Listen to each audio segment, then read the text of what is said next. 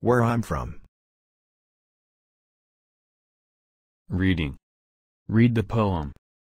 Where I'm From, by Melanie Poonai. I am a life filled with color. From the chocolate brown that is my skin. I am from the sunshine yellow of my mother's laugh. From the red and white of my brother's favorite football shirt. I am from the crisp new white pages of a book. From the miserable gray of the street I live on. I am from green, pink and yellow. My garden in summer filled with flowers, from the terrifying black of the nightmares that haunt me. I am from the ginger orange of my buried cat, from the blue and gold of my ever-shot school tie. I am from the dark oak of my grandmother's coffin, from the golden Om pendant around my neck.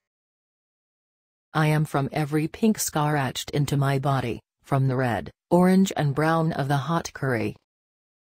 I am from every identical color of the twins I love, from the blue and green of a hospital ward. I am from all that has happened, and all that will be. Dialogue. Where I'm from. What is your name? My name is Sarah. Where are you from? I am from Ecuador. Where do you live?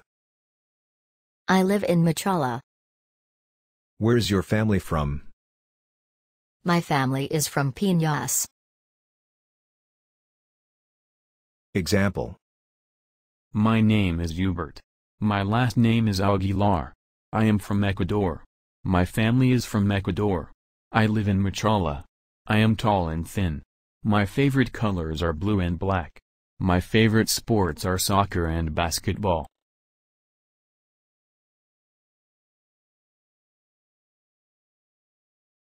Answer the following questions, from the poem considering that Melanie Poonai is the main character. Write about your personal information.